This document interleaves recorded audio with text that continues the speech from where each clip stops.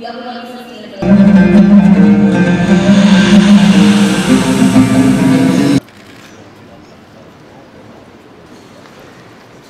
water while limiting our environmental impact.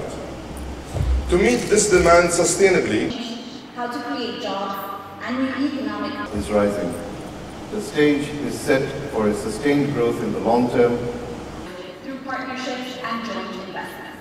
Je salue également son Altesse le chef How do we overcome those challenges